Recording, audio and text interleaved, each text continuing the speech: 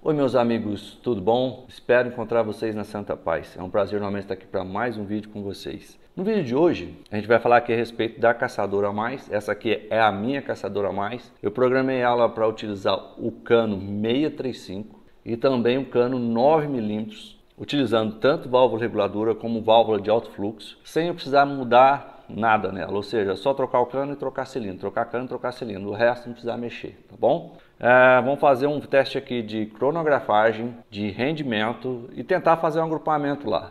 Chumbo da coquilha, tá? Essa aqui é chumbo da coquilha 635 de 40 grains. E vamos ver o que, que vai dar aí, tá bom? Vamos tentar aí. O cronógrafo está zerado e embora.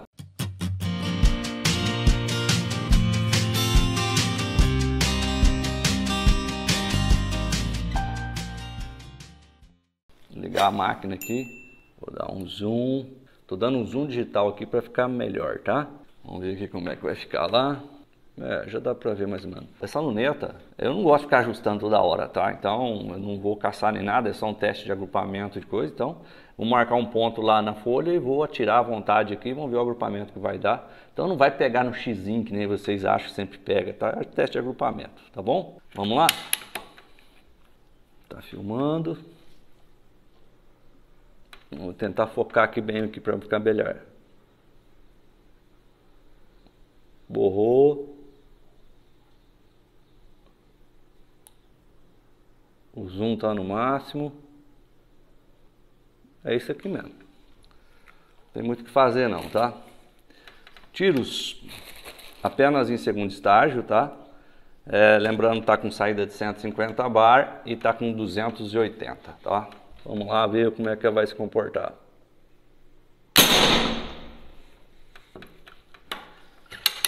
Primeiro disparo, 827 fps, com chumbo de 40 grains, vai dar aproximadamente 82 joules, 81, 82, tá?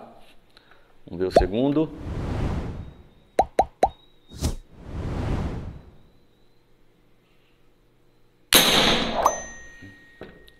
Oitocentos e vinte e nove. E agora vamos tirar à vontade, né? Chumbo aqui tem bastante, bora tirar.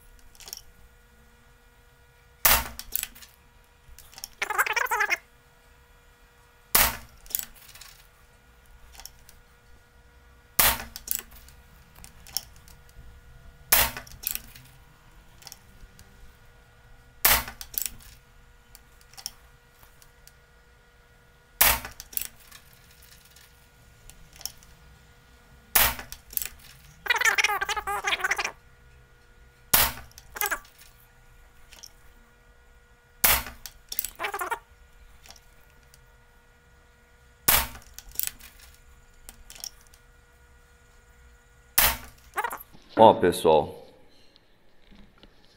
vou mostrar o cilindro para vocês.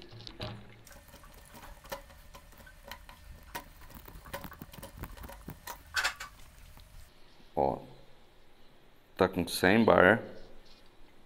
E aqui também tá com 100 bar, tá? Vamos ver aqui. Olha lá, ó. Review, tá? Esse foi o menor disparo, menor velocidade. Foram 25, tá bom? Máxima 829, mínima 772, média de 819, 80 joules de média, tá bom? Vamos lá ver o agrupamento, como é que ficou. Ó, chumbos da coquilha, tá? Vamos lá. O agrupamento foi esse daí. É. Um limão aí, ó.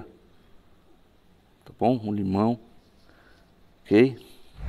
Pessoal, vamos às conclusões finais. Como vocês podem ver, começamos com 280 bar, paramos com 100 bar mais ou menos e deu a média de 25 disparos, média de 80 joules cada disparo. Lembrando, isso aqui é um cilindro de 450 cc, é um cilindro de muito ar mesmo. Vocês estão vendo que a gente trabalhando aqui com essa válvula reguladora, ela não aumenta tanto assim a autonomia, mas ela mantém os disparos bem constantes, bem constantes mesmo, ou seja, são 25 disparos de 80 joules, tá?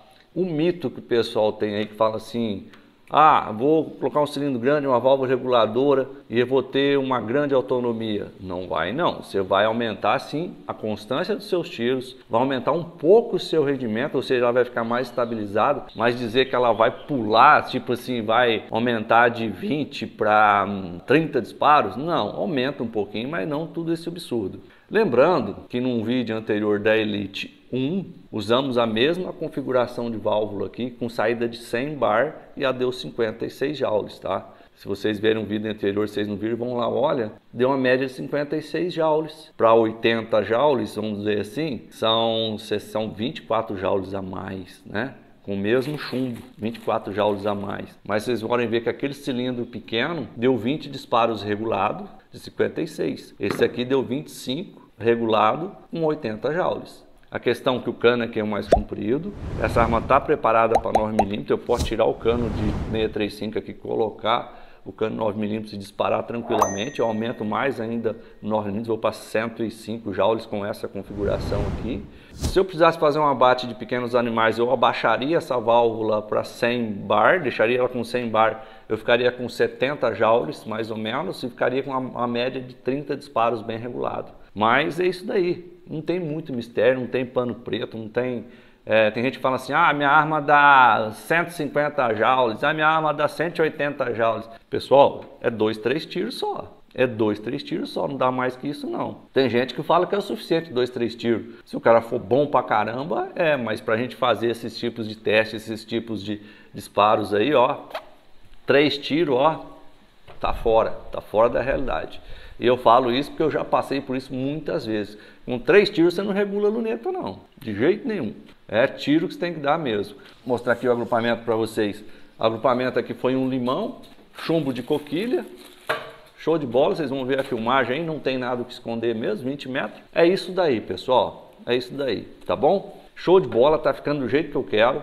Tá ficando uma arma de dois calibres, 635 e 9 milímetros. Tem outro cilindro aqui especialmente para força também. Detalhe, Nessa configuração que eu fiz aqui, a 635 só aceita a válvula reguladora, tá? Só aceita válvula reguladora. Não adianta colocar a válvula de alto fluxo aqui, que nessa configuração que eu fiz, que é, é, é o rebaixo de 9mm aqui, preste bem atenção. Não adianta eu colocar a válvula de alta potência aqui, que vai acontecer uma coisa chamada calço pneumático. Calço pneumático, o que, que significa? O cano, essa vazão de ar não suporta a válvula de alto fluxo da 9mm, não suporta. Ou eu tenho que abaixar a potência da, da, da válvula de alto fluxo, colocar um O-ring, fazer algum dispositivo para ela trabalhar tanto no 635 ou no 9mm, né? Ou uso a válvula reguladora. Não tem, não tem mágica no negócio não. O que, que, é, o que, que é o caos pneumático? Quando você efetuar um disparo com uma válvula de alto fluxo, o cano não vence a quantidade de ar que sai, porque a quantidade de ar que sai por 9 milímetros é muito alta, é muito alta, a descarga de ar é muito alta, você tem uma noção é, 9 milímetros com chumbos de 70 grains dá 200 joules, 210 joules, é muito, é uma descarga de ar muito grande. Esse cano não vence a saída de ar, não vence descarregar todo esse ar, ela faz a válvula ficar aberta e descarrega o cilindro tudo de uma vez. Dá para se fazer uma válvula de alto fluxo só para 635? Dá para fazer e fica bom para caramba. Você tem que abaixar o rebaixo aqui que é o rebaixo que eu sempre recomendo para o pessoal, que é 7.9, que é o mesmo rebaixo do, do 5.5. Fica show de bola, você extrai muita energia, muita energia mesmo, tá? E fica show de bola. Essa eu preparei para 635 e 9mm. Lembrando, essa eu preparei para esses dois calibres, inclusive eu posso usar o 762. Então eu sempre falo, ó, pequenos calibres, é 4,5, 5,5 e 635. Aí é um, é um tipo de válvula, é um tipo de fluxo de ar, tá? Nesses três calibres baixos. Altos calibres, os calibres maiores que eu chamo, 635, 762 e 9mm, é outro tipo de configuração, é outro tipo de mágica, vamos dizer assim, tá? Mas funciona, tá, está provado, 80 joules, 25 disparos regulado, cilindro 450 cc. Vocês veem assim que a bicha gasta um pouco de ar, viu? Beleza? Pessoal, muito obrigado e até a próxima. Espero que tenham gostado desse vídeo.